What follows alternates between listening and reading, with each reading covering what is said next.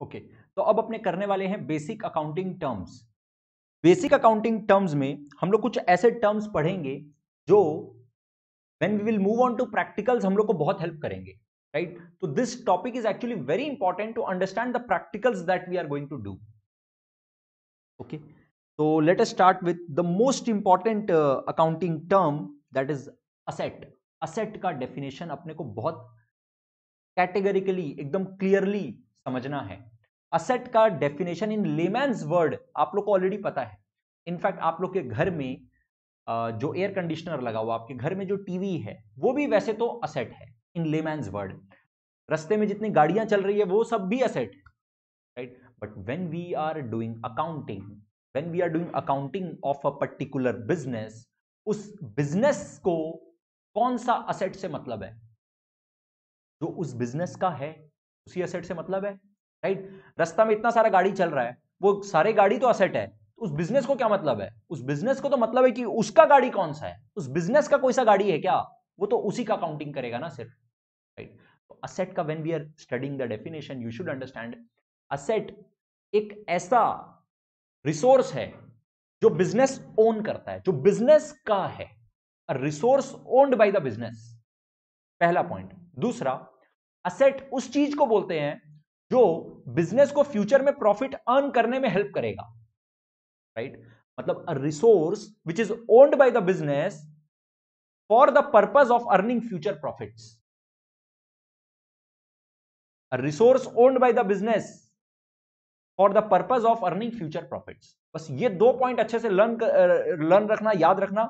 In fact learn करने का ज़रूरत नहीं पड़ेगा बिकॉज़ अपने जब इतना सारे एग्जांपल्स डिस्कस करेंगे, इतना सारे क्वेश्चन करेंगे तो बार बार जब ये वाला बात बोलेंगे तो आपको अपने आप एकदम पक्का अच्छे से ये बात याद रहेगा। राइट तो असेट में दो पॉइंट है सर एक तो it is a resource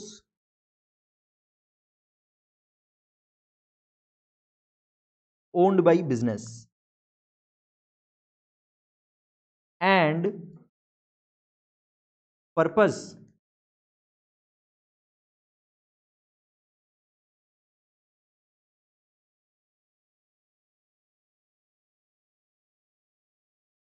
with the purpose of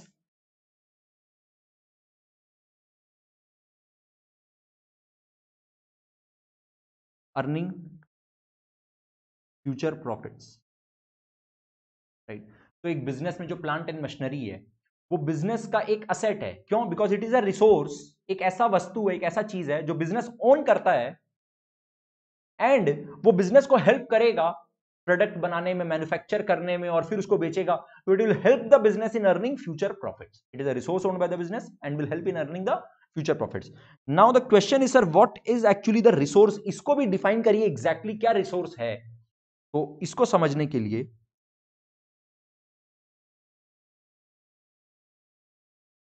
resource में mainly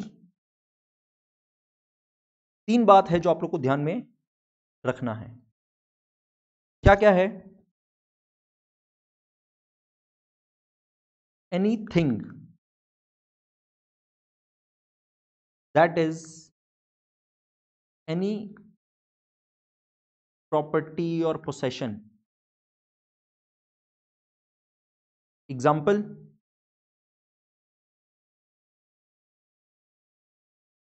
land and building plant and machinery, short में लिख रहे हैं। फर्नीचर एटसेट्रा एंड इसके साथ में कुछ और यहाँ पे लिखो, उसको नीचे बता रहे हैं और डिटेल में। गुडविल ट्रेडमार्क एटसेट्रा राइट तो देखो, दो पार्ट में डिवाइड किए हैं। एनीथिंग एनी प्रॉपर्टी और पोसेशन को, एक है land and building plant and machinery furniture etcetera और एक गुडविल ट्रेडमार्क एटसेट्रा ठीक है? दूसरा चीज़ क्या होता है? Any amount receivable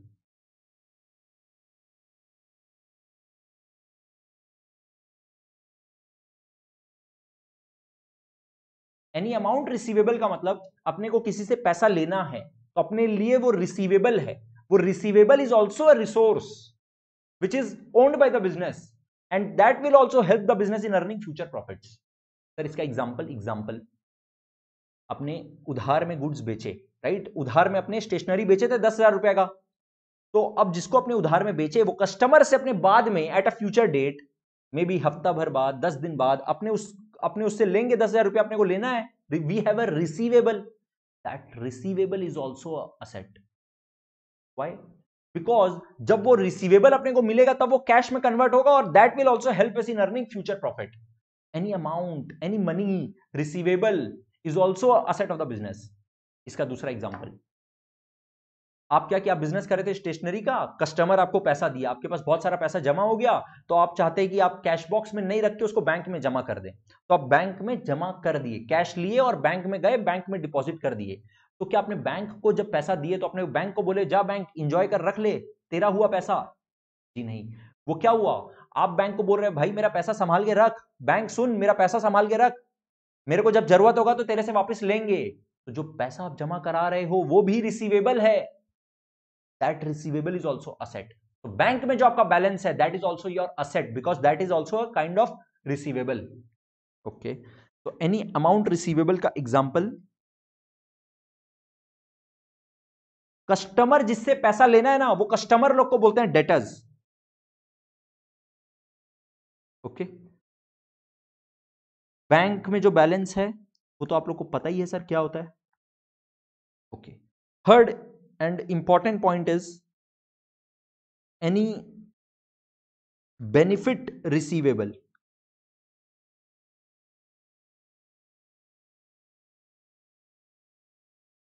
any benefit receivable का मतलब मान लो, जिस स्टूडियो में बैठ के अभी आप लोग को पढ़ा रहे हैं, उस स्टूडियो को मेरे को रेंट देना पड़ता है राइट मान लो से फॉर एग्जांपल अभी जो चल रहा है वो है दिसंबर मंथ से फॉर एग्जांपल अभी it is a December month I have already paid my rent for the month of Jan Feb and March जनवरी फेबर मार्च का हम ऑलरेडी अपना रेंट पे कर चुके हैं राइट right?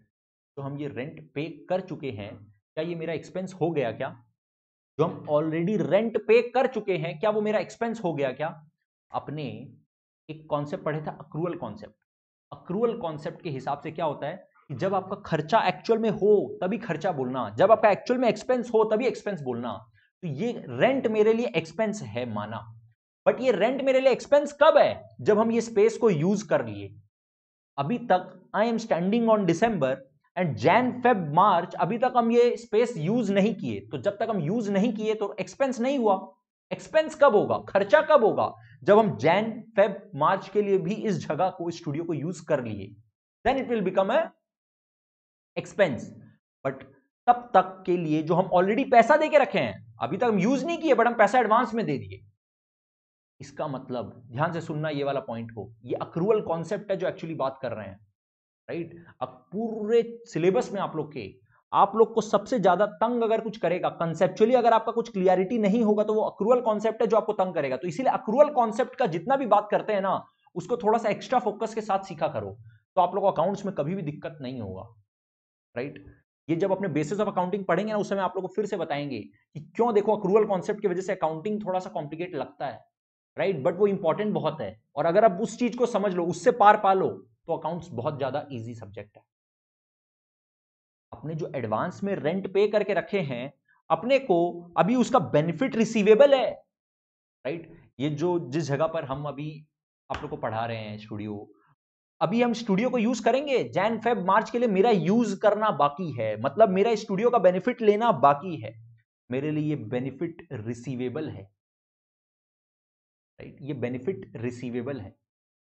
तो this benefit receivable is also an asset तो advance payment of expense is asset now advance payment of expense को प्रीपेड एक्सपेंस भी बोलते हैं राइट तो एग्जांपल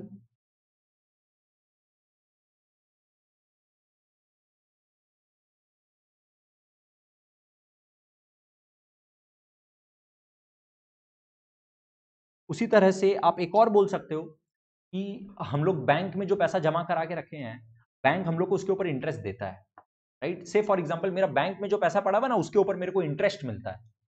तो अब वो इंटरेस्ट का इनकम मेरा हो गया बट अभी तक बैंक मेरे को पैसा दिया नहीं है।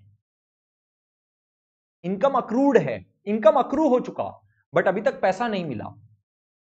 तो that is also an amount receivable that is also an asset यहाँ पे एग्ज़ाम्पल में एक और पॉइंट इंपॉर्टेंट पॉइंट लिख लो अक्रूड इनकम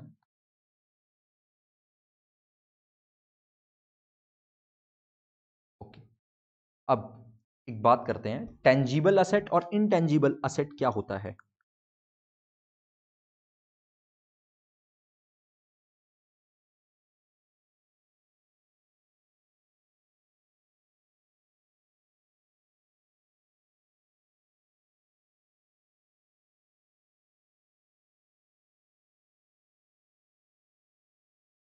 टेंजिबल असेट का मतलब वो असेट जिसको आप देख सकते हो, जिसको आप टच कर सकते हो तो आप फील कर सकते हो। For example furniture furniture asset है, उसको टच कर सकते हैं, उसको देख सकते हैं तो वो असेट है। लैपटॉप आप टच कर सकते हो, आप देख सकते हो, आपका टेंजिबल असेट है। बट कुछ असेट्स ऐसे होते हैं, जिनको आप देख नहीं पा रहे हो, जिनको आप टच नहीं कर सकते हो बट वो असेट है। सर क्या एग्ज़ाम्पल बताइए? जैसे मान लो से फॉर एग्ज़ाम्पल वाओ मोमो का जो ब्रांड है वाओ मोमो जिस तरह से वाओ मोमो लिखा हुआ रहता है, जिस तरह का लोगो यूज़ करता है, और ये जो टर्म है वाओ मोमो वाओ मोमो जो कंपनी है, वो क्या किया? अपना इस तरीका, लिखने का तरीका को और अपना इस नाम को ट्रेडमार्क करा के रख लिया। इंटेलेक्चुअल प्रॉपर्टी राइट बोलते हैं उसको। ट्रेडमार्क करा लिया। ट्रेडमार्क करा लिया, इसका मतलब वो दुनिया को ये बोल रहा है कि सुनो दुनिया ये जो मेरा नाम है ना, वाओ मोमो, और ये जो मेरा डिज़ाइन है, लिखने का जो तरीका है, ये कोई और नहीं यूज़ कर सकता है, ये सिर्फ़ हम लोग यूज़ करेंगे। वाओ मोमो का कंपनी बोल रहा है ये बात। ये हम लोग का हक है, क्योंकि तो ये हम लोग बनाए हैं और हम लोग ट्रेडमार्क करवा लिए। ठीक है? अब ट्रेडमार्क बोल के ट्रेडमार्क का वो पैसा भी दिया ट्रेडमार्क कराने का वो पैसा भी दिया। ठीक है? अब ये जो वो ट्रेडमार्क करवाया, वाओ मोमो वाला कंपनी, ये उसका एक हक है, जो उससे कोई नहीं ले सकता। है करेक्ट अगर कोई और यूज़ करेगा उस नाम को तो वॉ मोमो उसके ऊपर केस कर सकता है। उससे डैमेज क्लेम कर सकता है। राइट ये राइट है उसके पास। राइट गूगल जिस तरह से लिखा हुआ है गूगल वो और कोई नहीं कर सकता है। सपोज़ कल को मान लो आप एक बिज़नेस स्टार्ट करते हो ऑनलाइन बिज़नेस और आप अपने बिज़नेस का नाम रख लेते हो गूगल नहीं रख सकते हो। गूगल अपने नाम को ट्रेडमार्क करा के रखा है। राइट? तो ये गूगल का हक है कि वो गूगल वाला जो, जिस तरह से गूगल लिखा हुआ रहता है और जो गूगल नाम है, वो सिर्फ़ गूगल ही यूज़ कर सकता है और कोई नहीं यूज़ कर सकता है। राइट? तो ये जो हक है ना, ये हेल्प करता है फ्यूचर में प्रॉफिट अर्न करने में। और ये एक रिसोर्स माना जाता है, इनटेंजिबल नेचर का है। इनटेंजिबल नेचर का मतलब ये एक ऐसा रिसोर्स है, जिसको आप देख नहीं पा रहे हो, जिसको आप टच नहीं कर पा रहे हो, फील नहीं कर पा रहे हो, बट वो असेट है और वो आपको फ्यूचर में बहुत सारा प्रॉफिट अर्न करने में हेल्प कर रहा है। राइट से फॉर एग्ज़ाम्पल अगर आप गूगल आप यूज़ कर पाते तो हर कोई दुनिया में यूज़ कर रहा होता गूगल नाम। आपको कभी समझ में नहीं आता यार एग्जैक्ट प्रॉपर एक्चुअल में गूगल क्या है? Right right? लेकिन ऐसा नहीं हो रहा है, जिसके वजह से गूगल एकदम सोलली अपना नाम यूज़ कर रहा है और मस्त प्रॉफिट कमा रहा है। Right right? तो ये इनटेंजिबल नेचर का असेट है। उसी तरह से बिज़नेस करते करते बिज़नेस का एक रेप्यूटेशन बिल्ड हो जाता है। रेप्यूटेशन जो बिल्ड हो जाता है, उसको अपने दूसरे लैंग्वेज में अकाउंटिंग वर्ड्स में बोलते हैं गुडविल ये बिज़नेस का गुडविल है। बिज़नेस का गुडविल का बहुत बड़ा वैल्यू होता है राइट गुडविल का बहुत बड़ा वैल्यू होता है। गुडविल बिज़नेस को हेल्प करता है फ्यूचर प्रॉफिट्स कमाने में राइट दो कंपनी है, दोनों एकदम एग्जैक्टली सेम बिज़नेस करता है सेम प्रॉफिट कमाता है एग्जैक्टली सेम है। लेकिन कंपनी ए जो है ना, उसका गुडविल बहुत अच्छा है। उसको वो फ्यूचर में प्रॉफिट ज़्यादा अर्न करने में, अपने कंपटीटर से प्रॉफिट ज़्यादा अर्न करने में हेल्प करेगा वो गुडविल राइट आपके घर के नीचे बहुत सारा ग्रोसरी स्टोर होगा बट कोई एक ग्रोसरी स्टोर ऐसा होगा जिसका नाम ज़्यादा होगा। क्यों? क्योंकि वो कई कई सालों तक बहुत अच्छा सर्विस दिया है। कस्टमर लोग को सही रेट में अच्छा चीज़ दिया है अच्छा सामान दिया है। कोई डुप्लीकेट आइटम नहीं दिया, कोई एडल्ट्रेशन नहीं किया, बहुत ईमानदारी से बिज़नेस किया, अपना बिहेवियर को बहुत अच्छा रखा तो इससे उसका नाम हो गया, ठीक है? अब वो नाम, उसको हेल्प करता है फ्यूचर प्रॉफिट अर्न करने में बहुत सारा, उसको बोलते हैं गुडविल राइट बट ये गुडविल जो एक असेट है, क्या आप उसको देख सकते हो? क्या आप उसको टच कर सकते हो? क्या आप उसको फील कर सकते हो? टच नहीं कर सकते हैं ना? आँख से ऐसे देख नहीं सकते हैं राइट कस्टमर का भीड़ लगा हुआ ये देख सकते हैं बट गुडविल असेट कुछ दिख रहा है क्या? नहीं इनटेंजिबल नेचर का है। तो इसी तरह से सर टेंजिबल असेट्स का एग्ज़ाम्पल लिख लीजिए। Plant and machinery land and land and building furniture office equipment intangible assets का एग्ज़ाम्पल लिख लीजिए गुडविल ट्रेडमार्क इसी तरह से पेटेंट ओके यहाँ पे शॉर्ट में एक और बात लिख सकते हो? Sir tangible asset can be seen and touched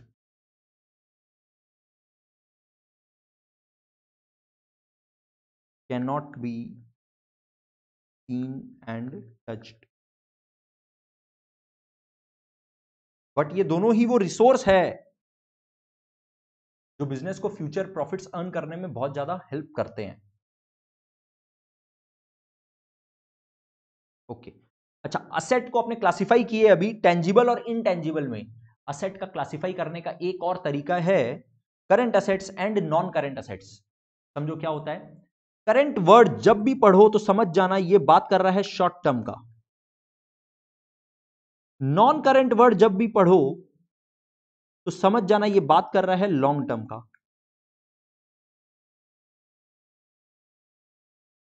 ठीक है?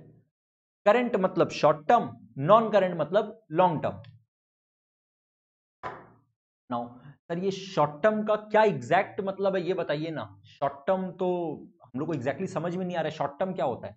शॉर्ट टर्म मतलब कुछ ऐसा असेट ऐसा रिसीवेबल राइट असेट जब बोल रहे हैं तो मतलब रिसीवेबल भी बोल रहे हैं। तो ऐसा असेट जिसको कैश में कन्वर्ट अपने कर देंगे बहुत फटाक से, जल्दी से। और नॉन करेंट असेट का मतलब जिसको कैश में कन्वर्ट करने का अपना कोई इरादा नहीं है। राइट करेंट असेट का मतलब ऐसा असेट्स जो रियलाइज़ कर लेंगे शॉर्ट टर्म में। नॉन करेंट असेट का मतलब उसको जल्दी से रियलाइज़ करने का ज़रूरत, जल्दी से हम लोग रियलाइज़ नहीं करने वाले हैं। राइट एग्ज़ाम्पल से समझो, और अच्छे से समझो। मान लो आपका, आपके पास जो गोडाउन में स्टॉक पड़ा हुआ है, वो स्टॉक क्या कोई बहुत लॉन्ग टर्म असेट है? वो स्टॉक को आप क्या करोगे? जल्दी से कस्टमर को सेल करोगे और कस्टमर को बोलोगे, भाई, पैसा दो। Right right? या फिर मान लो आपका कस्टमर भी आपका असेट अपने बात कर चुके हैं बिकॉज़ कस्टमर से पैसा रिसीवेबल है। Any receivable is also an asset right now that customer से रिसीवेबल क्या आपको छह साल बाद मिलेगा? कस्ट, आप किसी कस्टमर को स्टेशनरी जिसको बेचे दस हज़ार रुपए का वो क्या आपको छह साल बाद पैसा देगा? नहीं वो हफ़्ता दस दिन बीस दिन एक महीना दो महीना के अंदर पेमेंट कर देगा। उसको शॉर्ट टर्म बोलते हैं। राइट आप जो प्रीपेड रेंट देके रखे थे प्रीपेड एक्सपेंसेस बोले ना बेनिफिट रिसीवेबल रेंट एडवांस में पे करके रखे हैं तो इसका तो बेनिफिट हमको अभी जन फेब मार्च में अभी मिल जाएगा। राइट तो ये शॉर्ट टर्म हो गया। सर तो फिर लॉन्ग टर्म क्या हुआ? लॉन्ग टर्म का मतलब जैसे आपका फिक्स्ड असेट्स है plant and machinery land and building जैसे गुडविल पेटेंट ये जितना भी आपने पढ़े ना tangible fixed assets and intangible fixed assets ये जितना भी एग्जांपल था plant and machinery land and building furniture office equipment right ये सब आप क्या बेचोगे क्या? नहीं, ये तो बिज़नेस करने के लिए आपके यूज़ में आने वाला असेट है। इसको आपको बेचने का कोई इरादा नहीं है। हाँ कल को ये खराब हो गया, आपको रिप्लेस करने का ज़रूरत पड़ रहा है, आपका एयर कंडीशनर खराब हो गया, आपको चेंज करना है तो आप पुराना वाला हटा दोगे, नया वाला लाओगे, वो एक अलग बात है राइट बट ये जनरली लॉन्ग टर्म के लिए लिया जाता है, लंबे समय के लिए लिया जाता है, उसको बोलते हैं नॉन करेंट असेट्स जो लॉन्ग टर्म के लिए रखा जाए, जिसको हम लोग कैश में कन्वर्ट जल्दी से नहीं करेंगे, बहुत टाइम के बाद करेंगे, दो, चार, पाँच साल, दस साल के बाद करेंगे मे बी राइट कैश में कन्वर्ट नहीं होता है, उसका बेनिफिट अभी नहीं मिलने वाला है, बाद में मिलने वाला है राइट और लगातार कई कई सालों तक मिलने वाला है। तो ऐसा बेनिफिट जो आपको within one accounting period मिल जाए शॉर्ट टर्म हो गया, जो आपको within one accounting period ना मिले, बहुत लेट तक मिले, वो नॉन करंट एसेट हो गया। टू बी मोर स्पेसिफिक एकदम एग्जैक्ट बात करें तो ऐसा asset which will be realised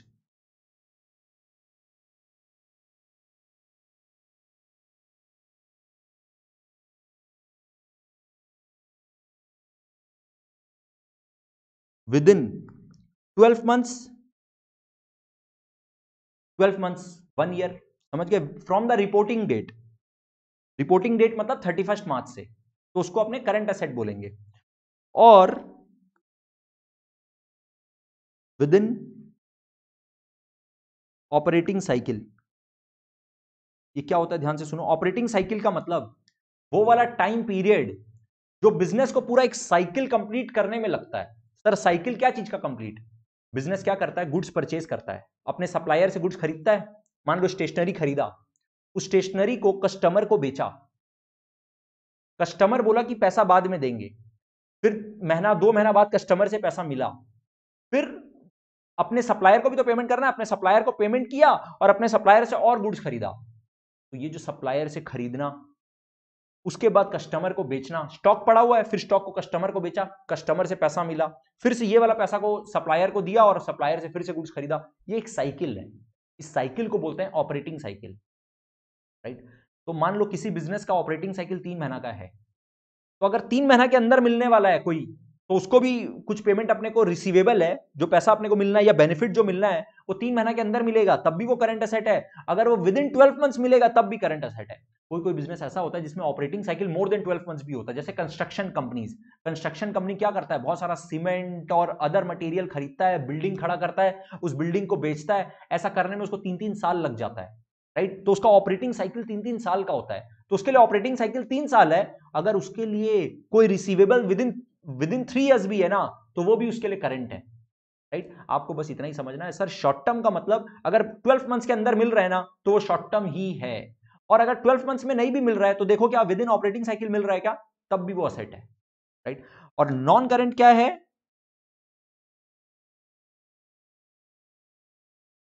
Assets, which are not current assets. Simple जो करंट असेट नहीं है, वो सब कुछ नॉन करंट है।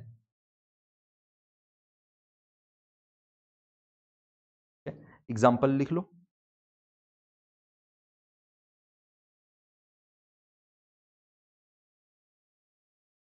स्टॉक डेटर्स कैश जो बैलेंस पड़ा हुआ है, बैंक में जो बैलेंस है, प्रीपेड एक्सपेंसेस है। राइट, अक्रूड इनकम है। अक्रूड इनकम क्या चीज़ के लिए बोले थे? सर, ऐसा इनकम जो कि हम लोग का इनकम हो चुका है बट अभी तक पैसा मिला नहीं है। इनकम रिसीवेबल है। इनकम अभी तक इनकम हो चुका बट पैसा नहीं रिसीव हुआ। राइट बैंक इंटरेस्ट का एग्जांपल लिए थे कि इंटरेस्ट हम लोग का अक्रू हो चुका थर्टी मार्च आया। छह महीना से हम लोग का बैंक में बैलेंस पड़ा हुआ है। उस छह महीना का इंटरेस्ट हम लोग को मिलना चाहिए।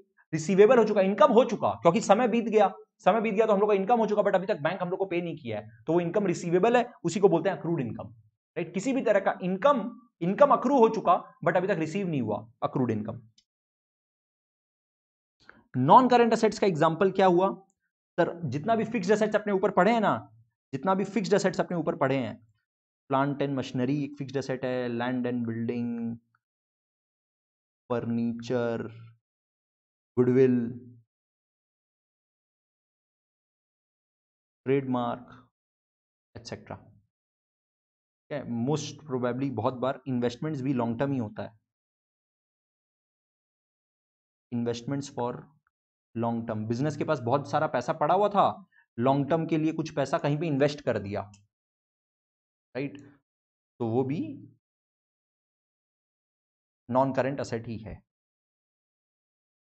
नेक्स्ट इज़ फिक्टिशियस असेट्स और नॉमिनल असेट्स फिक्टिशियस वर्ड का मतलब क्या है?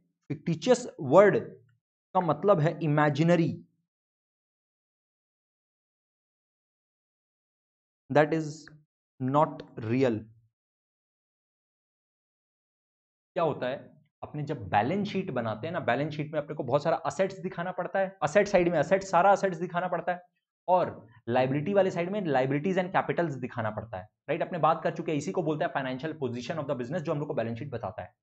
कभी कभी बैलेंस शीट में ना ऐसा आइटम रिकॉर्ड करना पड़ता है असेट साइड में। असेट साइड में ऐसा आइटम रिकॉर्ड करना पड़ता है। अपने देखेंगे जब अपने अकाउंटिंग कर रहे होंगे, ऐसा सिचुएशन आएगा जहाँ पर अपने असेट साइड में कुछ ऐसा एक दो आइटम लिखेंगे जो कि एक्चुअल में असेट नहीं है। एक्चुअल में असेट नहीं है मतलब they are not a resource which is owned by the business and they will not help the business in earning future profit मतलब असेट के डेफिनेशन में कवर ही नहीं होता है, लेकिन फिर भी बैलेंस शीट के असेट साइड में दिखाया जाता है। अकाउंटिंग कुछ इस तरह का है। राइट ऐसा सिचुएशन अराइज हो जाता है कभी कभी तो वो वाले एसेट्स को अपने बोलते हैं इमेजिनरी एसेट्स भैया एक्चुअल में it is not real actual में असेट नहीं है। बट असेट साइड में बस दिख रहा है। इसका एग्ज़ाम्पल क्या है? Sir profit and loss account जब अपने बनाते हैं तो उसमें कभी कभी डेबिट बैलेंस आ जाता है। डेबिट बैलेंस का मतलब लॉसेज या फिर deferred revenue expenditure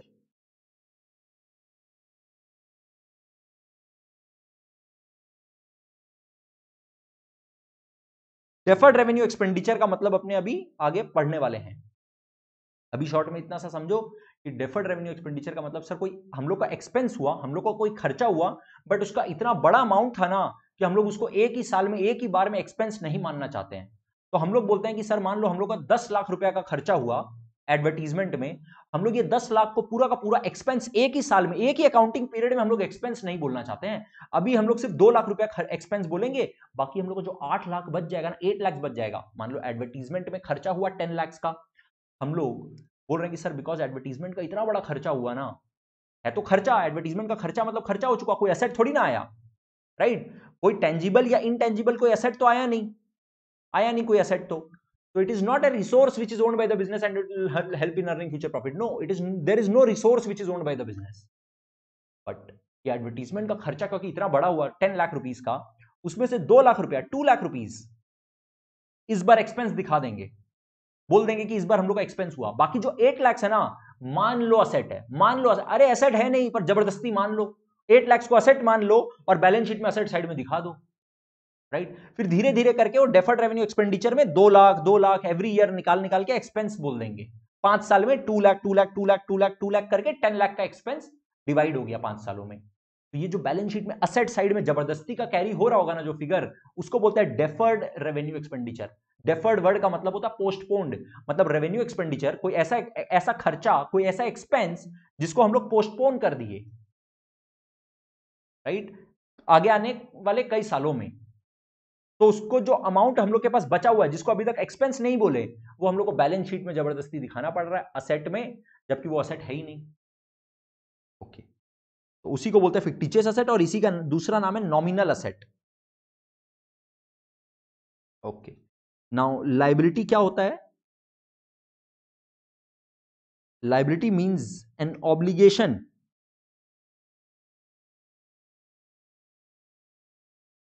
to pay at a future date.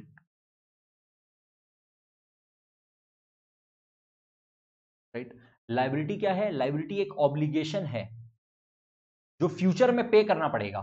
Obligation मतलब लाइबिलिटी है।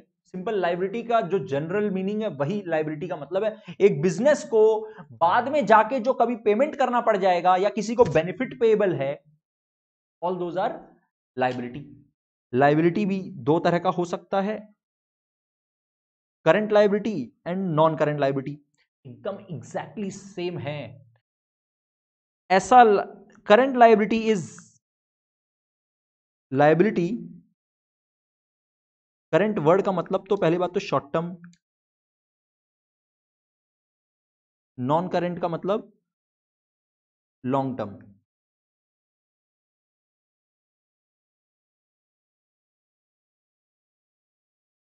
liability payable.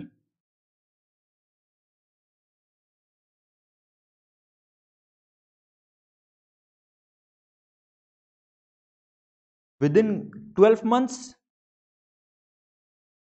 or within operating cycle. Non current liabilities liability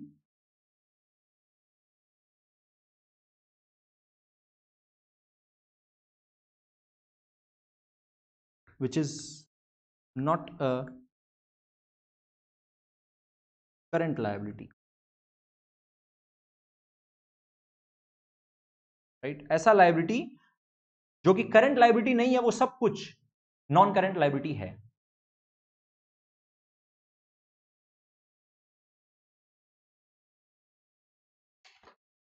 तो करंट लाइबिलिटी का कुछ एग्जांपल्स बताओ करंट लाइबिलिटी का एग्जांपल्स हो गया सर जैसे क्रेडिटर्स क्रेडिटर्स किसको बोलते हैं? वो सप्लायर्स जिन लोग से हम लोग गुड्स उधार में खरीदते हैं और उन लोग को बाद में जाके पेमेंट करेंगे राइट उधार में गुड्स खरीदे हैं और पेमेंट बाद में करेंगे पेबल है बट वो शॉर्ट टर्म पेबल है। महीना, दो महीना, तीन महीना बाद पेमेंट करेंगे। दैट इज़ क्रेडिटर्स ओके कुछ ऐसे खर्चे होते हैं जो खर्चा हो गया बट अभी तक पेमेंट किए नहीं है, करने वाले हैं। जैसे फॉर एग्जांपल मान लो अभी दिसंबर मंथ चल रहा है। दिसंबर मंथ के लिए I have use this place this studio and I have to pay the rent जब दिसंबर मंथ बीत गया दिसंबर मंथ खत्म हो जाने के बाद मेरा रेंट का खर्चा हो गया एक्सपेंस हो गया बट अभी तक पेमेंट नहीं किए हैं। मतलब 10 जनवरी आ गया टेंथ जनवरी आ गया, अभी तक पेमेंट नहीं किए हैं। मतलब पेबल है, इसको बोलते हैं आउटस्टैंडिंग एक्सपेंसेस आउटस्टैंडिंग एक्सपेंसेस भी, क्योंकि शॉर्ट टर्म में पेबल है तो करंट लाइबिलिटी हो गया।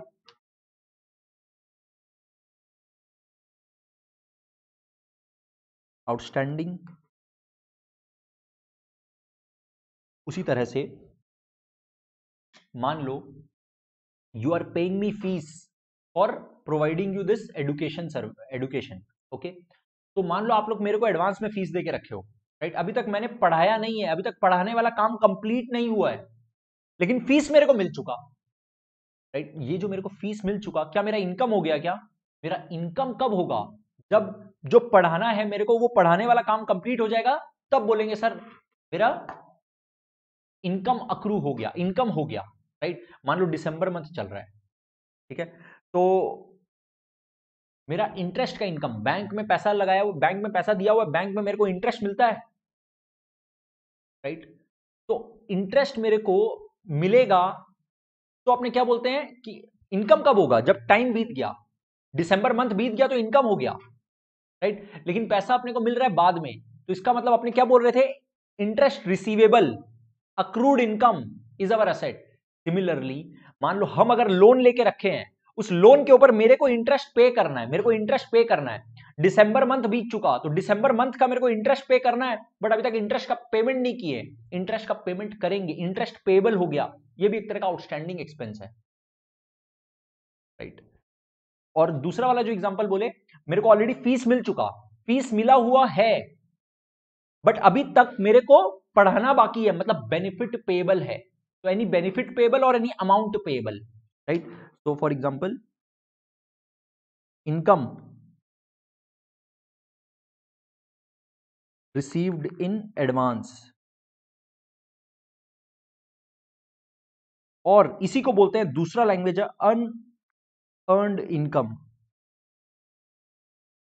okay all these are short term right benefit payable is within the short term two months three months one month और लॉन्ग टर्म लाइबिलिटी क्या हो गया? Generally term loan taken from bank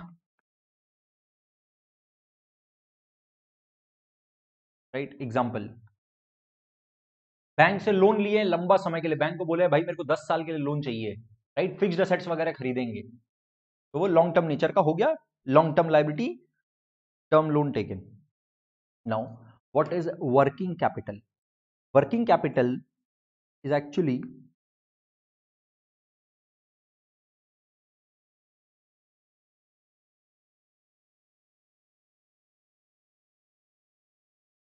amount.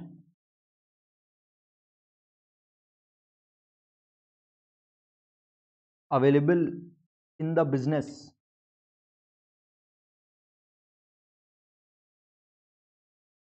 For the day to day operation of the business. For the day to day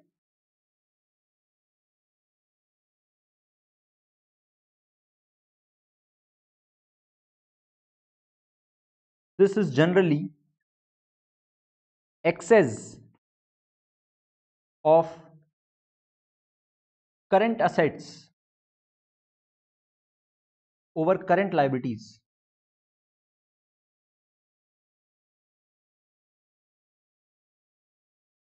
So this is actually current assets minus current liabilities. Okay? का मतलब क्या होता है? देखो, एक तो business में बहुत सारा फंड होता है, जैसे जो लोन वगैरह लिया और फिक्स्ड असेट्स पड़ा हुआ है, वो सब ऐसा असेट्स है जो लॉन्ग टर्म नेचर का है राइट बिज़नेस के पास पैसा पड़ा हुआ है बट वो लॉन्ग टर्म नेचर का बिज़नेस के पास असेट पड़ा हुआ है बट वो लॉन्ग टर्म नेचर का है, ठीक है? और कुछ असेट होता है जो डे टू डे ऑपरेशन को रन करने के लिए बिज़नेस को रन करने के लिए जो फंड यूज़ होता है। जैसे सर कैश का जो बैलेंस पड़ा हुआ है है ना? वो क्यों रख के रखा है? ताकि कोई भी छोटा मोटा खर्चा हुआ तो तुरंत पे कर पाए। क्रेडिटर का पेमेंट का टाइम हो गया तो क्रेडिटर को पेमेंट कर पाए। राइट उसी तरह से बैंक में जो बैलेंस पड़ा हुआ है, वो क्यों पड़ा हुआ है? ताकि जब चेक काट के सप्लायर को पेमेंट करे तो मेरा बैंक का बैलेंस यूज़ हो जाए। राइट उसी तरह से कस्टमर से जो पैसा लेना है, वो मेरा रिसोर्स है जो कि मेरे को शॉर्ट टर्म लाइबिलिटी पे करने में हेल्प करेगा। ये जो असेट्स हो गया ना डेटर्स स्टॉक जो पड़ा हुआ है स्टॉक क्यों रख के रखे ताकि उसको बेचे और कस्टमर से पैसा कलेक्ट करे। राइट ये वाला जो अमाउंट हो गया ना current assets minus current liability इसको बोलते हैं, वो वाला फंड वो वाला net asset available with the firm जो बिज़नेस को डे टू डे ऑपरेशन करने में हेल्प करता है राइट तो working capital is the excess of current asset over current liabilities that is current assets minus current liabilities now debtors आप लोग already बता चुके हैं डेटर्स क्या होता है? Customers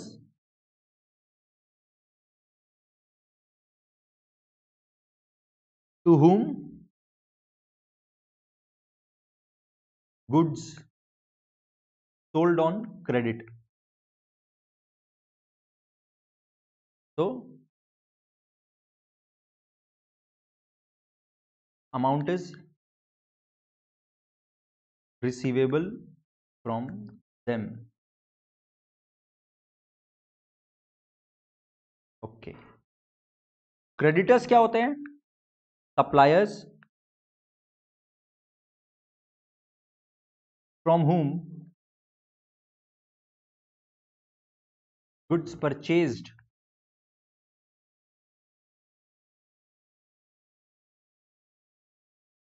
on credit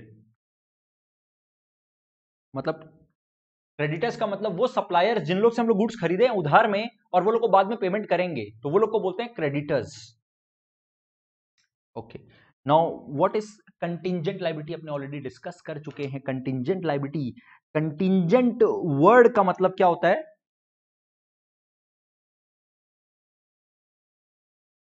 Dependent on the happening of an event right मतलब अगर कोई ऐसा एक्टिविटी होगा, तब मेरा लाइबिलिटी बनेगा। अगर कोई इवेंट अगर होगा, तब मेरे को पे करना पड़ेगा। That is called contingent nature का लाइबिलिटी मतलब dependent on the happening of an event okay तो कंटिजेंट लाइबिलिटी का एक्चुअल में मीनिंग आप और प्रॉपर लिख सकते हो।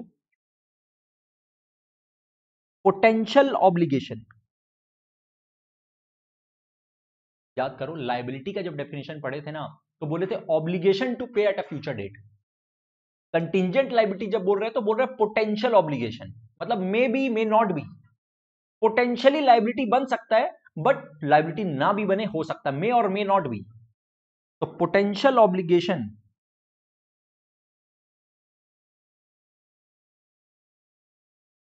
dependent on the outcome of an event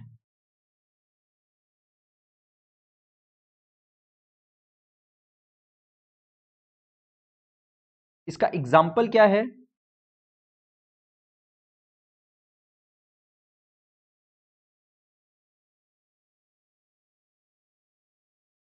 Claim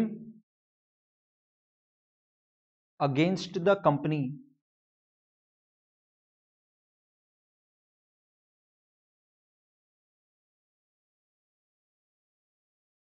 not acknowledged as debt.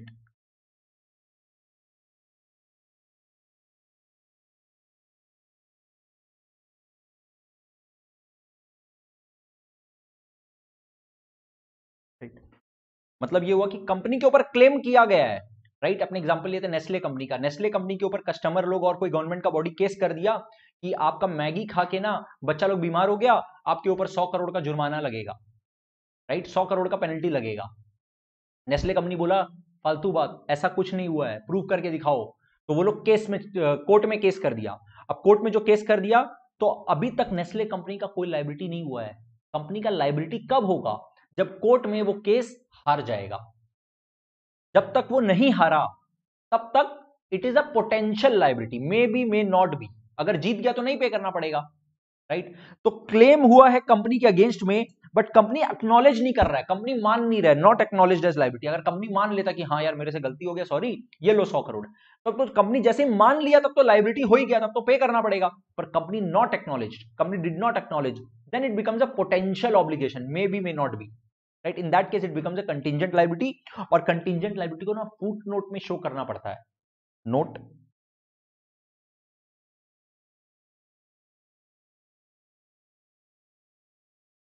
contingent liability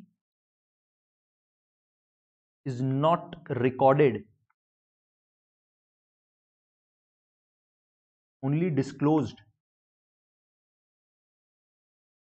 as a footnote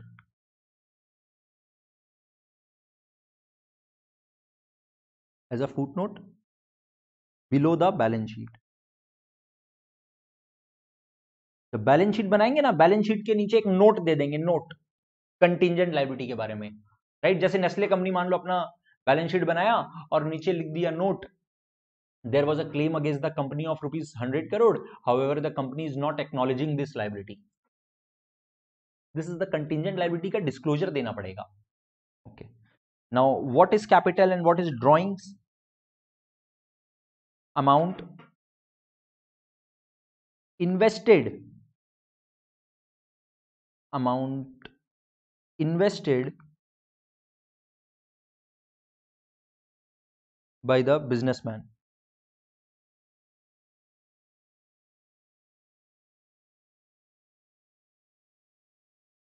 it is the obligation for business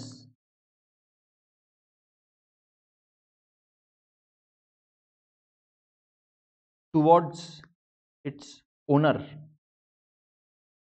ध्यान से समझना, ये वाला क्या बात बोले? इसको शॉर्ट टर्म शॉर्ट में बोलते हैं इंटरनल लाइबिलिटी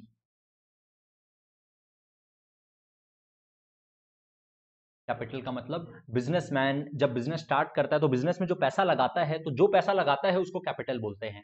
बिज़नेस के नज़रिए से सोचो, अपने जब भी अकाउंटिंग कर रहे होंगे ना तो बिज़नेस के नज़रिए से सोचना है। बिज़नेस के लिए बिज़नेस के हिसाब से सोचो बिज़नेस क्या सोच रहा है? राइट अपने ऑलरेडी बिज़नेस एंटिटी कॉन्सेप्ट पढ़ चुके हैं। बिज़नेस अलग बिज़नेस मैन अलग। बिज़नेस अलग बिज़नेस मैन अलग। तो बिज़नेस बिज़नेस के हिसाब से सोचो। बिज़नेस मैन के हिसाब से मत सोचो। बिज़नेस के हिसाब से बिज़नेस क्या सोच रहा है? बिज़नेस सोच रहा है, अरे यार बिजनेसमैन से ना पचास लाख रुपया मिला हुआ है कैपिटल का। ये बाद में जाकर के बिजनेसमैन को लौटाना पड़ेगा। तो capital is the obligation for the business towards its owner इसी को बोलते हैं इंटरनल लाइबिलिटी मतलब जो ओनर को देने का रहता है, उसको इंटरनल लाइबिलिटी बोलते हैं, और उसी का दूसरा वर्ड है कैपिटल राइट और ड्राइंग्स क्या होता है? कभी कभी बिजनेसमैन बिज़नेस से कुछ पैसा निकाल भी लेता है। बिज़नेस करते करते जैसे जैसे ज़रूरत पड़ता है, उसको लगता है जो प्रॉफिट कमा रहा होता है, उसमें से कुछ पैसा निकाल भी लेता है। उसको बोलते हैं drawings amount?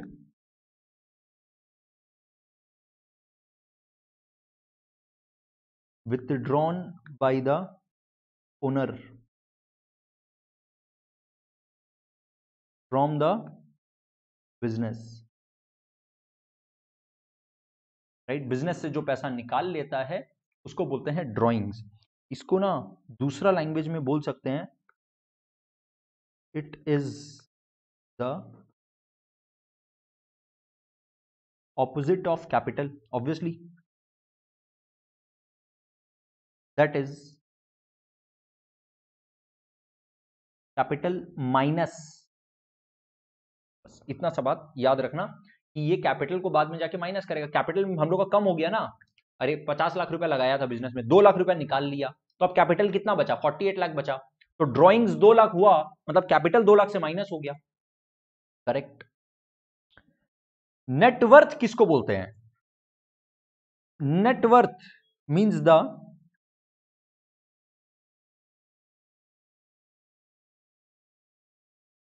value of the business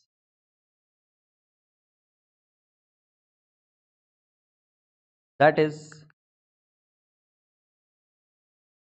total assets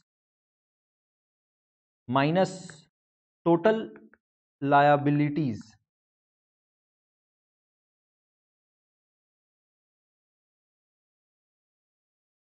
That is that part of the total asset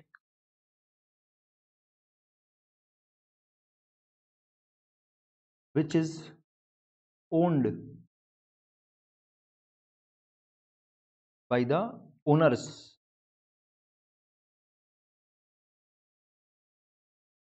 या फिर विच बिलोंग्स टू ओनर्स लिख लो। Which belongs to owners right आप लोग को जब डुअल एस्पेक्ट बताए ना तो एक बात बताए थे।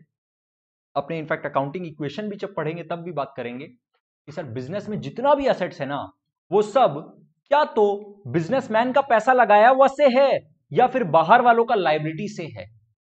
राइट तो बिजनेसमैन का जो है ना, उसको बोलते हैं कैपिटल प्लस रिजर्व्स या फिर उसी को बोलते हैं network total assets minus total liability मतलब टोटल असेट्स में जो लाइबिलिटी वाला पोर्शन जो बाहर वालों को देने वाला है, वो वाला हटा दो तो जो बच गया असेट का पोर्शन जो ओनर का है which belongs to owner that is the net worth इसका शॉर्ट में आप लोग को बस इतना याद रखना है कि total asset minus total liability means net worth okay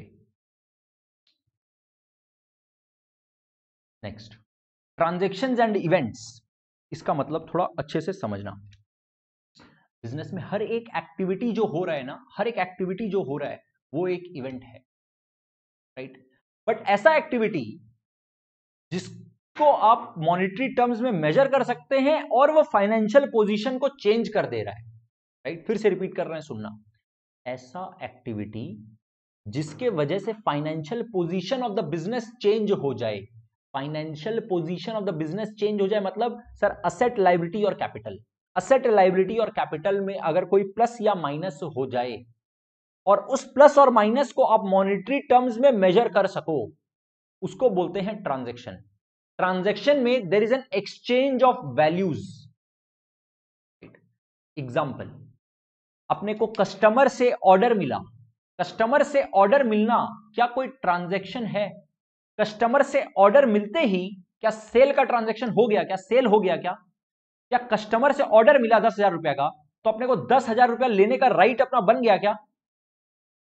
अपना दस हज़ार लेने का राइट कब बनेगा? जब अपने एक्चुअल में गुड सेल कर देंगे। राइट जब अपने एक्चुअल में गुड सेल करेंगे तो अपने पास जो स्टॉक पड़ा हुआ था असेट स्टॉक अपना असेट वो माइनस हो रहा है। और अपने को पैसा मिल रहा है तो कैश प्लस हो रहा है। कैश असेट प्लस हो रहा है।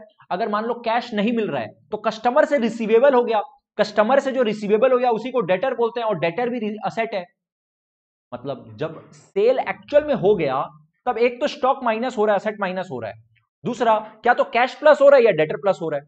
तो जब ये वाला ट्रांजेक्शन होगा ना, उसको बोलेंगे ट्रांजेक्शन ये वाला एक्टिविटी को ट्रांजेक्शन बोलेंगे। कस्टमर से ऑर्डर मिलना इज़ नो ट्रांजेक्शन ट्रांजेक्शन कब होगा?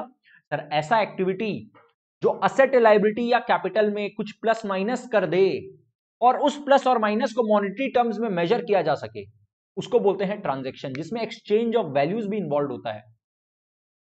राइट एंड कस्टमर से एक ऑर्डर मिलना भी एक इवेंट हो गया। राइट इनफैक्ट मान लो आपके पास गोडाउन में स्टॉक पड़ा हुआ था वन लाख रुपीज़ का। आप दस हज़ार का स्टॉक सेल कर दिए। तो आपके पास स्टॉक बच गया नाइनटी थाउज़ेंड का। ये जो नाइनटी थाउज़ेंड का स्टॉक बच गया ना, ये balance remaining is also an event ये भी एक इवेंट है। पूरा साल भर बिज़नेस करने के बाद जो प्रॉफिट बच जाता है प्रॉफिट का balance is also event debtor से एक बैलेंस बाकी है मिलना। दस हज़ार रुपया मिलना बाकी है। That is also an event but ये सब ट्रांजेक्शन नहीं है। ट्रांजेक्शन क्या होता है? सिर्फ़ वो वाला एक्टिविटी सिर्फ़ वो वाला एक्टिविटी जो फाइनेंशियल पोजीशन को चेंज कर दे मतलब असेट लाइबिलिटी या कैपिटल को प्लस या माइनस कर दे और उस प्लस और माइनस को मॉनिटरी टर्म्स में मेजर किया जा सके। राइट तो सर ट्रांजेक्शन क्या है?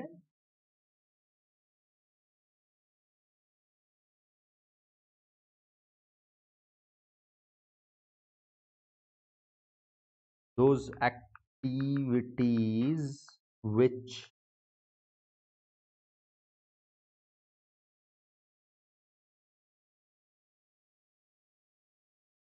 changes the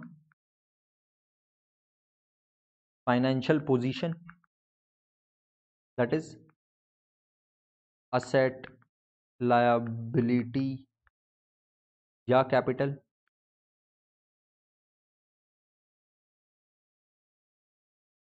that change.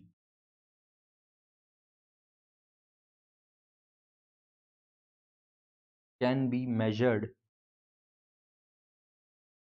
in terms of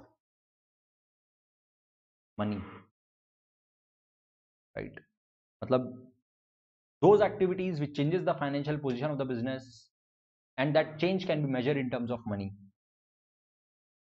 में यहाँ पर नोट लिख लो एक। अभी आपने जितना भी एग्ज़ाम्पल लिए राइट उससे अपने एक बात कंक्लूड कर सकते हैं।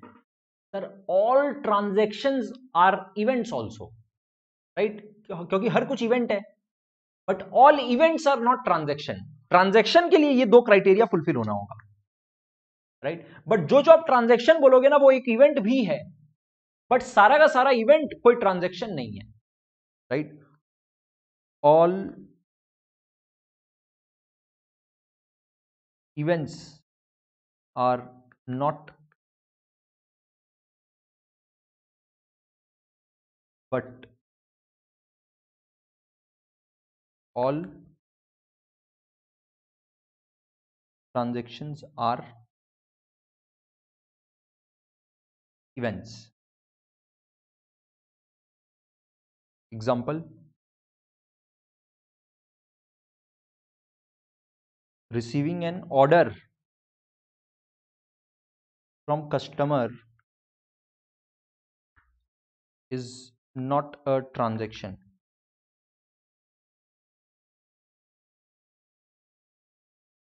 But it is an event. However goods sold to customer is a transaction as well as event. Okay now एक बात को बहुत अच्छे से समझो। व्हेन आई से कैपिटल का बैलेंस मतलब असेट लाइबिलिटी कैपिटल का बैलेंस में प्लस और प्लस और माइनस तो एक कैपिटल का बैलेंस में प्लस या माइनस कब हो सकता है? एक कैपिटल के बैलेंस में प्लस और माइनस कब हो सकता है? सर, जब बिजनेसमैन बिज़नेस में पैसा लगाता है तो कैपिटल प्लस हो जाता है। जब बिजनेसमैन बिज़नेस से पैसा निकाल लेता मतलब ड्रॉइंग्स कर लेता है तो कैपिटल माइनस हो जाता है। राइट? ये दो तो अपने को पता है, सर। जब बिजनेसमैन बिज़नेस में पैसा लगाता है स्टार्टिंग में या बाद में कभी भी, जब बिज़नेस में पैसा लगाता है तो उसका कैपिटल प्लस हो जाता है। और जब बिज़नेस से पैसा निकाल लेता है मतलब पैसा विड्रॉ कर लेता है तो उसका कैपिटल माइनस हो जाता है। इसको छोड़ के कोई और तरीका है क्या? हाँ और एक तरीका है कि बिज़नेस जब साल भर बिज़नेस करने के बाद कोई प्रॉफिट कमाता है ना, वो प्रॉफिट का हकदार भी बिजनेसमैन ही है और वो प्रॉफिट उसके कैपिटल में ऐड हो जाता है। और अगर लॉस होता है तो वो लॉस उसके कैपिटल से माइनस हो जाता है। अब ये प्रॉफिट क्या है और ये लॉस क्या है? ध्यान से समझो। Excess of income over expenses.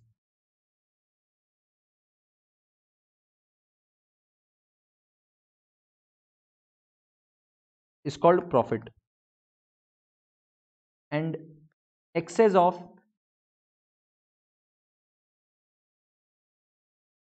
expense over income is called loss right? इसका मतलब सर, इनकम, प्रॉफिट क्या हुआ? प्रॉफिट हुआ income minus expense.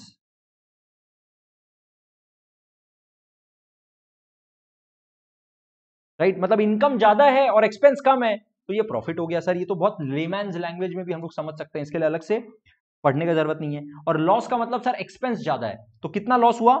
Expense minus income right अब ध्यान देना प्रॉफिट के वजह से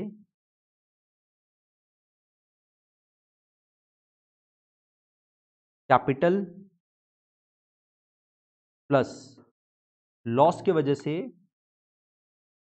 कैपिटल माइनस ये जो अभी बात कर रहे हैं ना, बहुत इंपॉर्टेंट है। क्योंकि यही हम लोग का बेस बनने वाला है।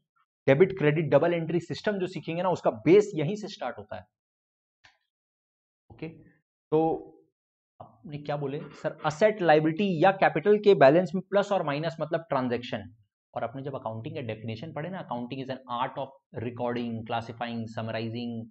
उसमें जो रिकॉर्डिंग बोले, क्या चीज़ का रिकॉर्डिंग? ट्रांजेक्शन का रिकॉर्डिंग। मतलब ऐसा एक्टिविटी जिसके वजह से एसेट लाइबिलिटी या कैपिटल में प्लस माइनस हो जाए, उसका रिकॉर्डिंग। ठीक है? अब मान लो हम लोग का एक्सपेंस हो रहा है इनकम हो रहा है तो जब इनकम होता है, ध्यान से समझो प्रॉफिट का मतलब इनकम ज़्यादा एक्सपेंस कम। अगर इनकम होता है तो अपने बोल सकते हैं ना प्रॉफिट प्लस होता है मतलब कैपिटल प्लस होता है। जब अपने बोलते हैं ना एक्सपेंस होता है एक्सपेंस का मतलब प्रॉफिट कम होता है राइट right? एक्सपेंस का मतलब लॉस होता है, या फिर एक्सपेंस का मतलब प्रॉफिट अपना कम हो रहा है। तो इसका मतलब एक्सपेंस का मतलब कैपिटल माइनस होता है। ये बात आपको समझना पड़ेगा। अकाउंटिंग इक्वेशन में भी इसी बात पर फोकस कर रहे होंगे और उसी के बेस पर फिर डबल एंट्री सिस्टम सीखेंगे।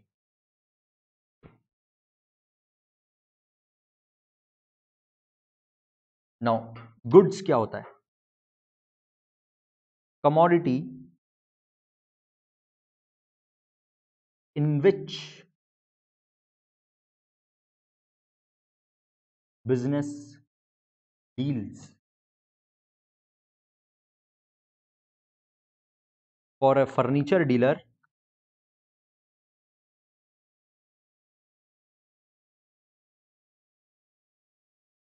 Furniture is goods.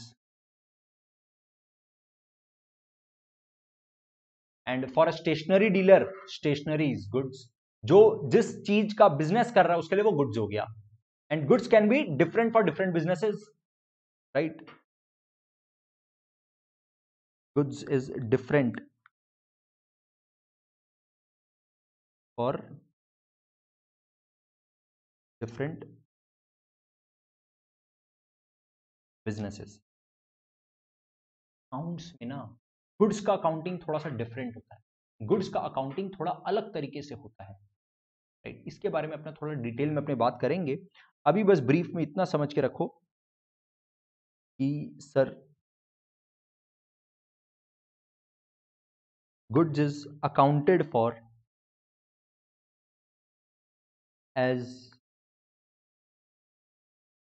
purchases, sales, purchase returns and sales returns.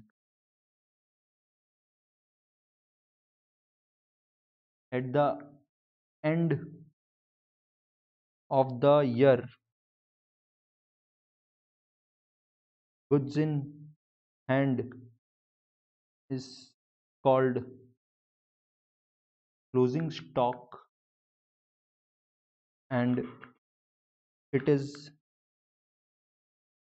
recognized as asset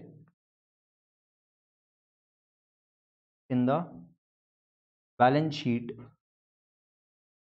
at the end of the year.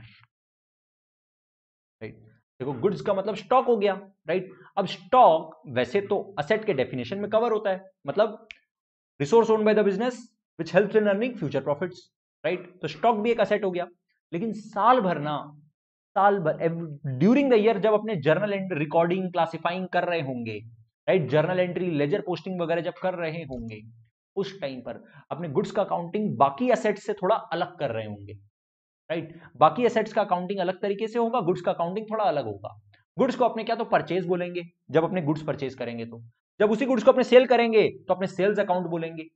जब परचेज किया हुआ गुड्स हम लोग को अगर अच्छा नहीं लग रहा है, मान लो डिफेक्टिव गुड्स आ गया तो हम लोग रिटर्न करेंगे तो उसको परचेज रिटर्न बोलेंगे। जब कस्टमर को जो गुड्स अपने सेल किए हैं, वो कस्टमर से मान लो कस्टमर को नहीं समझ में आया तो वो हम लोग को रिटर्न करा तो उसको सेल्स रिटर्न बोलेंगे। राइट ये सारा काम करते करते करते at the end of the year जो हम लोग के पास गोडाउन में स्टॉक बच जाएगा, जो गुड्स बच जाएगा, उसको बोलते हैं क्लोजिंग स्टॉक और at the end of the year जब अपने फाइनल अकाउंट्स बनाएँगे फाइनल अकाउंट्स में फ़र्स्ट टाइम क्लोजिंग स्टॉक को अपने as an asset recognise actually करेंगे. राइट इसका लॉजिक भी अपने समझेंगे. जब अपने फाइनल अकाउंट्स करेंगे, उस टाइम पर अभी इतना बात आपको समझ के रखना है. राइट अकाउंट गुड्स के ऊपर अगर थ्योरी भी आता है, जो कि बहुत फ्रीक्वेंटली आता है एग्ज़ाम में तो इतना बात अगर आप लिखते हो तो it's much more than enough now what is trade discount and what is cash discount business में say for example I am doing the business of this pen right stationery का business करते हैं और इस पेन का MRP से for example इस pen का MRP is rupees hundred MRP कितना है सौ रुपया ठीक है हम जब ये पेन परचेज करेंगे आई एम द रिटेलर हम कस्टमर लोग को बेचेंगे कितना में बेचेंगे सौ रुपए में बेचेंगे जब हम गुड्स परचेज करेंगे तो हम अपने सप्लायर को फ़ोन करेंगे, बोलेंगे, भैया, ये पेन मेरे को चाहिए, आप कितना रुपया करके लगाओगे? जरा सोचो, वो सप्लायर मेरे को क्या बोलेगा? वो सप्लायर मेरे को ऐसा बोल सकता है क्या कि, भैया, सौ रुपया लगेगा? बिल्कुल नहीं बोल सकता। अगर वो बोलेगा तो हम लेंगे ही नहीं। अरे, हम सौ में खरीदेंगे, सौ में बेचेंगे तो फिर हम क्या प्रॉफिट करेंगे? क्या ये करने के लिए हम बिज़नेस कर रहे हैं? बिल्कुल भी नहीं। वो मेरे को सौ से पक्का कम बोलेगा। ऑब्वियसली हम परचेज पक्का सौ से कम में करेंगे, और फिर जब सौ में बेचेंगे तो वही तो मेरा प्रॉफिट होगा। राइट करेक्ट सर ये तो हम लोग बहुत आराम से समझ पा रहे हैं, बहुत लेमैन्स लैंग्वेज में है ये तो बात। नाउ तो जब हम सप्लायर से खरीदेंगे ना तो सप्लायर हमको क्या बोल सकता सुनना? मान लो, ये हम एक्चुअली परचेज करने वाले हैं रुपीज़ नाइनटी में। What will the supplier tell me supplier can tell me भैया नाइनटी रुपीज़ करके लगेगा, नब्बे रुपये आपका करके लगेगा। ठीक है? या फिर सप्लायर एक दूसरा लैंग्वेज यूज़ कर सकता है इस लैंग्वेज को सुनना? सप्लायर बोल सकता है कि भैया आपका एमआरपी के ऊपर टेन परसेंट डिस्काउंट देंगे। एमआरपी को एमआरपी मतलब मैक्सिमम रिटेल प्राइस आपको पता है एमआरपी को ही दूसरा वर्ड्स में बोलते हैं लिस्ट प्राइस या कोटेड लिस्ट प्राइस या कैटलॉग प्राइस लिस्ट प्राइस या कैटलॉग प्राइस मतलब MRP list price catalogue price एक ही बात है। तो मेरे को सप्लायर क्या बोलेगा? एक ऑप्शन पहला ऑप्शन तो सर भैया नब्बे रुपया करके लगाएँगे।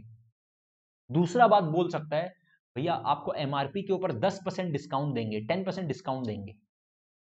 या फिर तीसरा लैंग्वेज बोल सकता है, भैया आपको टेन परसेंट ट्रेड डिस्काउंट देंगे। बस बात खत्म। मतलब trade discount is the discount given on MRP या लिस्ट प्राइस या catalogue price now you tell me ये जो बिजनेसमैन है, मान लो I am doing the stationery business तो मेरे को क्या खुश होना चाहिए? अरे वाह, मेरे को तो डिस्काउंट मिल गया। नहीं, ये डिस्काउंट थोड़ी ना यार एक्चुअली ये तो मेरा खरीद का रेट है। हम कितना में खरीद रहे हैं, उसका रेट है तो नाइनटी रुपीज़ तो वो वाला रेट है। क्योंकि हम बल्क में परचेज करेंगे। हम एक या दो या दस पेन नहीं खरीदेंगे, हम उससे सौ पेन एक साथ खरीदेंगे। राइट एक एक दो दो पेन जैसे रिटेलर बेचता है अपने कस्टमर को। आप जब दुकान में जाते हो तो आप पेन खरीदते हो तो आप एक पेन दो पेन खरीदते हो। हम सौ पेन एक साथ खरीदेंगे। वो बल्क परचेज के ऊपर मेरे को कोई डिस्काउंट दे रहा है because I am also dealing in this business तो ये मेरे लिए परचेज प्राइस है सिंपली कोई डिस्काउंट नहीं है राइट बट नाउ अब हम उसको बोले कि भैया, नब्बे रुपए तो बहुत ज़्यादा है, आप इसका अस्सी रुपया करके लगाइए राइट नाइन्टी रुपीज़ तो बहुत ज़्यादा है, आप प्लीज़ एट्टी रुपीज़ करके लगाइए। तो वो मेरे को क्या बोलता है कि भैया, इतना कम तो नहीं हो सकता है, नहीं हो सकता है कोई भी हालत में नहीं हो सकता है। लेकिन हम एक काम कर सकते हैं, नहीं, मेरा सप्लायर अब मेरे को बोल रहा है, लेकिन हम एक काम कर सकते हैं अगर आप तुरंत पेमेंट करेंगे ना, अगर आप इमीजिएट पेमेंट करेंगे, या फिर अगर आप एक हफ़्ता के अंदर पेमेंट करेंगे ना वन वीक के अंदर पेमेंट करेंगे तो हम आपको और पाँच परसेंट का डिस्काउंट दे देंगे। हम आपको और भी फाइव फोर पॉइंट मतलब और पाँच परसेंट का फाइव परसेंट का और डिस्काउंट दे देंगे। इससे ज़्यादा हम नहीं कर सकते now this discount given on the prompt payment this discount given on the promptness of the payment कितना फट से हम पेमेंट कर दे रहे हैं, तब मेरे को डिस्काउंट मिलेगा। This is called cash discount right cash discount does not mean कि जब हम कैश में दे रहे हैं तभी। अरे, हम चेक काट के दे रहे हैं, उसको भी, उसमें भी कैश डिस्काउंट होता है। कैश डिस्काउंट का मतलब पेमेंट के ऊपर जो डिस्काउंट दिया जा रहा है। जल्दी से पेमेंट करेंगे, उसके ऊपर जो डिस्काउंट दिया जा रहा है, उसको बोलते हैं cash discount right trade discount is actually not a discount अगर आप समझ पा रहे हो। सर, वो तो जस्ट एक बोलने का तरीका कि परचेज प्राइस कितना है। बट कैश डिस्काउंट अगर हम जल्दी से पेमेंट देंगे तो मेरे को जो डिस्काउंट मिलेगा, उसको कैश डिस्काउंट बोलते हैं और वो एक्चुअल में कोई डिस्काउंट है। Right trade discount is not recorded in the books right MRP से अपने जो ट्रेड डिस्काउंट का परसेंटेज है वो लेस कर देंगे, फिर नाइनटी रुपीज़ आएगा, अपने सीधा नाइनटी रुपीज़ को अपना परचेज बोलेंगे। राइट लेकिन अगर हम एक हफ़्ता के अंदर पेमेंट कर देंगे तो मेरे को और पाँच परसेंट का डिस्काउंट मिलेगा। वो डिस्काउंट को अपने डिस्काउंट अलाउड बोल के बुक्स में रिकॉर्ड करेंगे। Trade discount is not recorded in the books cash discount is recorded in the books very good so trade discount given hmm. by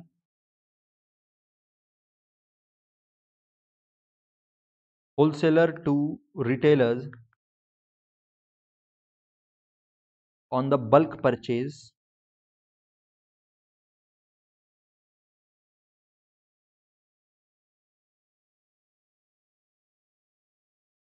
as a percentage calculated on MRP list price or catalog price.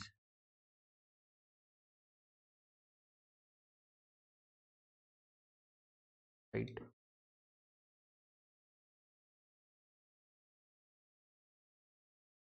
Given by the seller to the buyer on the promptness of the payment. Okay. very important point. Trade discount is not recorded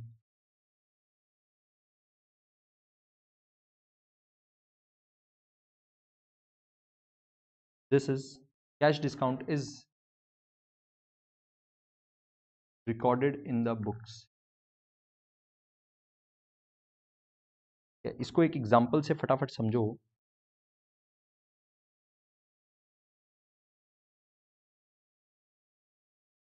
देखना ध्यान से। हम लोग goods कितना में purchase किए? Purchase price या इसको बोलते हैं लिस्ट प्राइस मान लो। लिस्ट प्राइस इज़ हंड्रेड फिर less trade discount ten percent है, दस परसेंट है।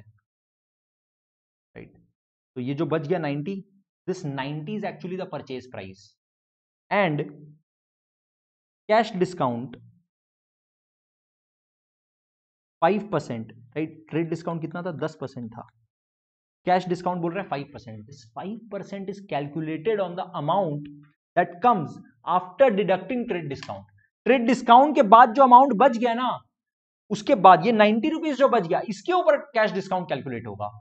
तो five percent of ninety five percent of rupees ninety कितना होता है? फोर पॉइंट फाइव ठीक है? अब जो बात को बोल रहे हैं, सुनना। लिस्ट प्राइस से हम लोग को कोई मतलब नहीं है। दस रुपए का ट्रेड डिस्काउंट भी बुक्स में रिकॉर्ड नहीं होता है। नाइन्टी रुपीज़ जो परचेज प्राइस है, recorded as purchase.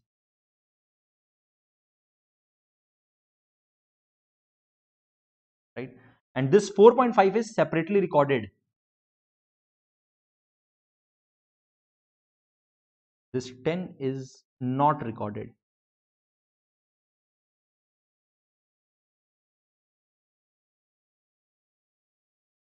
And important point cash discount is calculated on the amount that remains after deducting the trade discount इसको भी लिख लो।